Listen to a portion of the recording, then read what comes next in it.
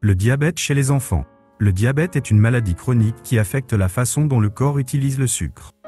Le sucre est une source d'énergie importante pour le corps, mais il ne peut pas être utilisé correctement si le corps ne produit pas ou ne utilise pas l'insuline. Il existe deux principaux types de diabète. Le diabète de type 1 est une maladie auto-immune qui détruit les cellules bêta du pancréas, les cellules qui produisent l'insuline. Le diabète de type 1 touche généralement les enfants, les adolescents et les jeunes adultes. Le diabète de type 2 est une maladie chronique qui survient lorsque le corps ne répond pas correctement à l'insuline ou qu'il ne produit pas suffisamment d'insuline. Le diabète de type 2 est le type de diabète le plus courant chez les adultes, mais il touche de plus en plus d'enfants et d'adolescents. Les symptômes du diabète chez l'enfant peuvent inclure soif intense, envie fréquente d'uriner, perte de poids, fatigue, vision trouble, nausées, vomissements, confusion. Si votre enfant présente l'un de ces symptômes, il est important de consulter un médecin dès que possible.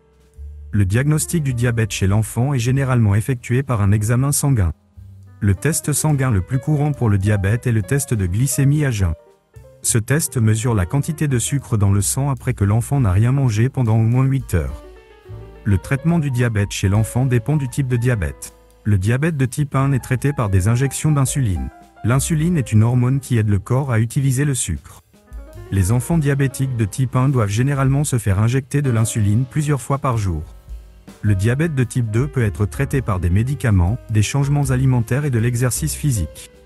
Certains enfants diabétiques de type 2 peuvent également avoir besoin de prendre de l'insuline. Un régime alimentaire sain et équilibré est important pour tous les enfants, mais il est particulièrement important pour les enfants diabétiques.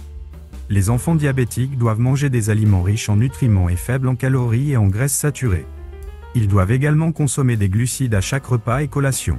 L'exercice physique est également important pour les enfants diabétiques.